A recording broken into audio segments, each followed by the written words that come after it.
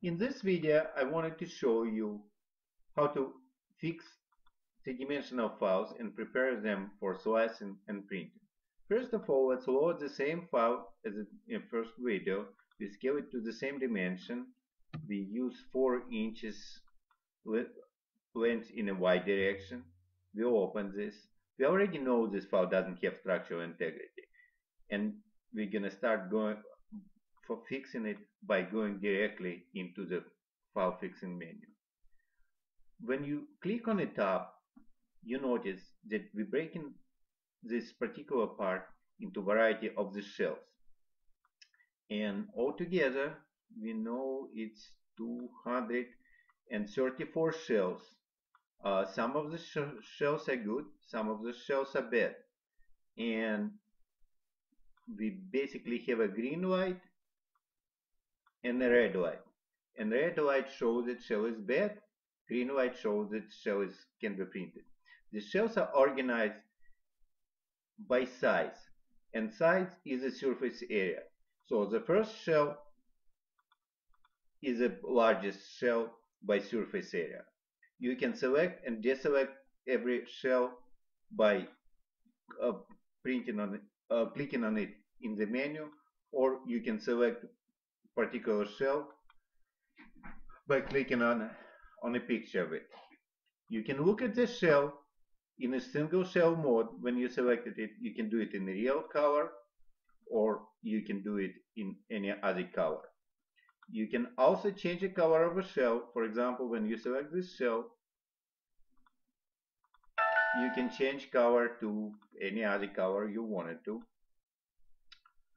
Um, and now let's see what we can do by fixing it. We have a fix all feature.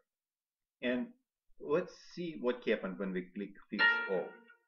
It's relatively primitive algorithm that would probably get you to the part that can be printed, but it may not be what you want to. We're still working on the algorithm right now. As you can see, the molding and certain area of the card didn't really fix properly.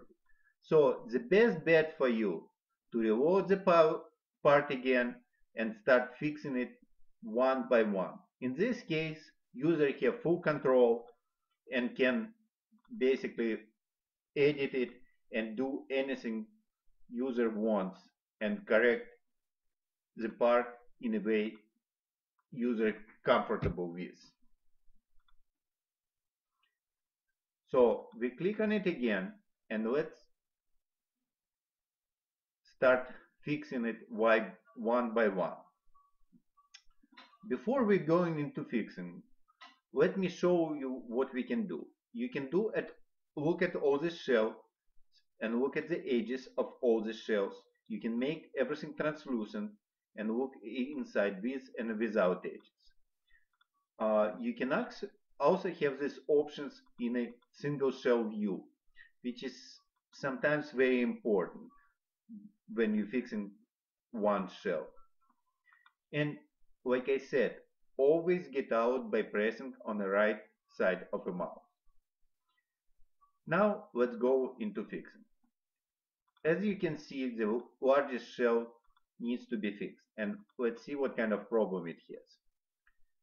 When we look inside, we can see light bouncing off inside and not from outside, which means that this shell created upside down. So we're going to flip it first and we select flip operation and apply it to display shell. Now we can see that light bounces from outer side and not from inner side. But do we know if it's fixed? In order to know if it's fixed or not, we want to show bed edges. And we can see that number of bed edges. And it's so related because this particular shell doesn't have any thickness. So let's add thickness right now. And at this point, as you see in, previous video, I want to add 1.5 millimeters, which is pretty reasonable to, to FDM part. And we apply it to display shell. Now, when I click OK, you can see that now we have zero bed edges, the shell is fixed, and we can continue on fixing it further. Now, when we done this, we need to figure out what else need to be fixed. We can display all edge, all shells view, good shells view, or a bad shells view. When we select bad shells view, we know exactly which shells need to be fixed. Now let's look careful at you know each individual shell. The next biggest shells shells 5 and 6.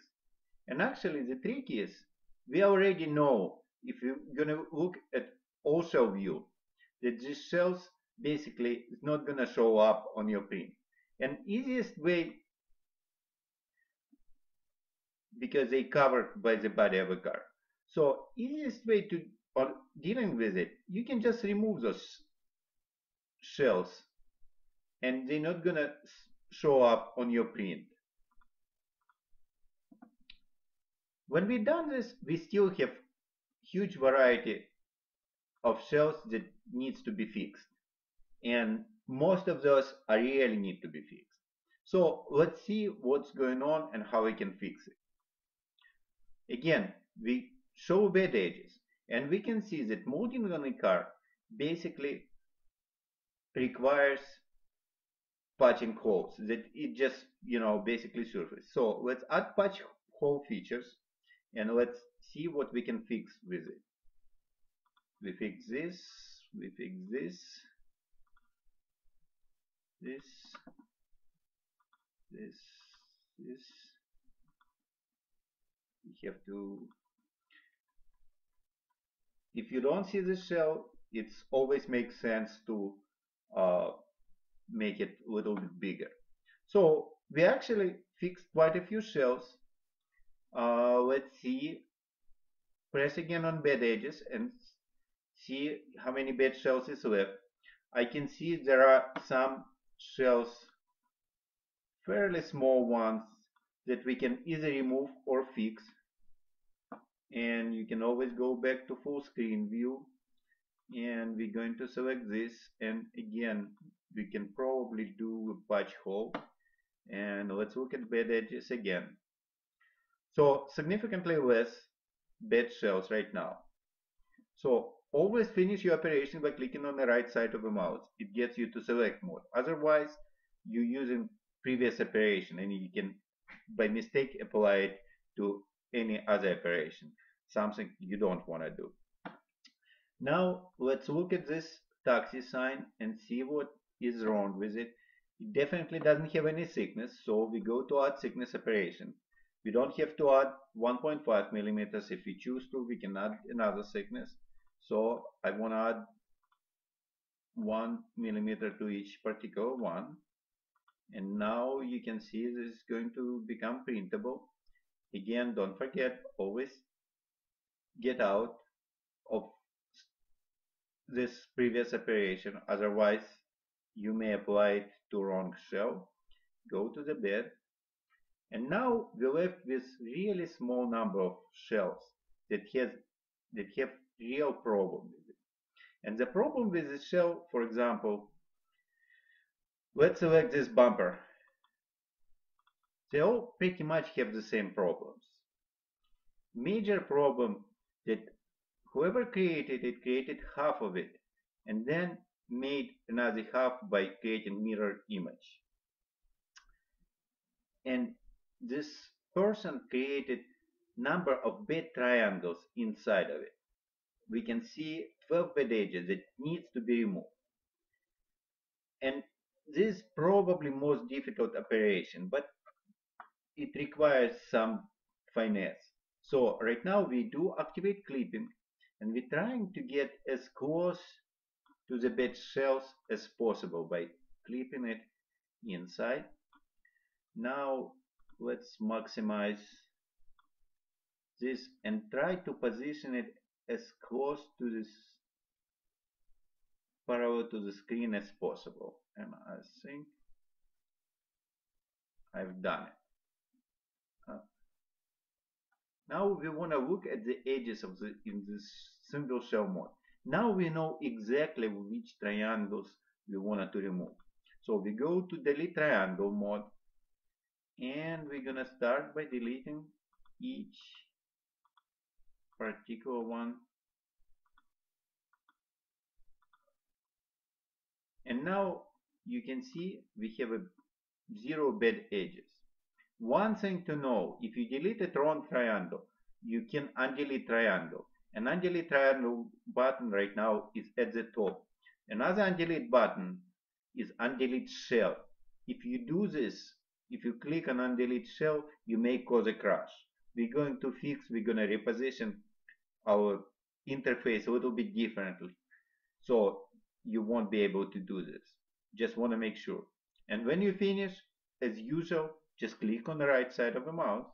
Now you can reset clipping you can look at the shell in a full view you don't have to do make it translucent or display edges. And you can see right now the shell is fixed. So right now if we want to go to a full view and this is the one that we fixed if we show bad edges it's going to disappear. And you can do it one by one by one and eventually fix a file. It's not easy but it can be done I already went through all of this and going to show you uh, the final results let's look at all shells we don't want to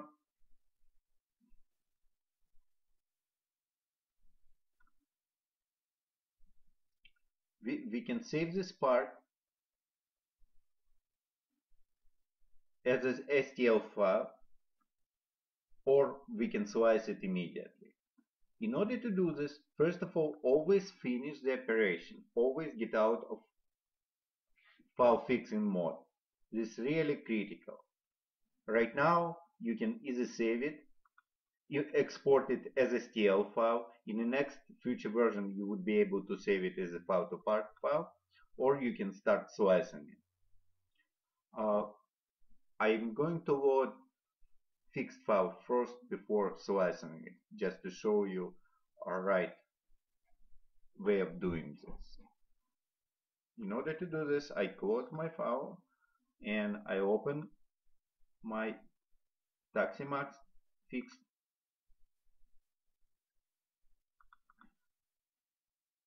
it's already scaled in the right dimension and all I have to do just slice it. I already pre-slice it. Slicing on this particular computer takes about one minute about and 20 seconds. And after you do this, you can look at the slicing, you can look what you're going to print in 3D view or you can look at it in a top view. And right now, as you can see, every file is going to have structural integrity and it's probably going to be going to print fine.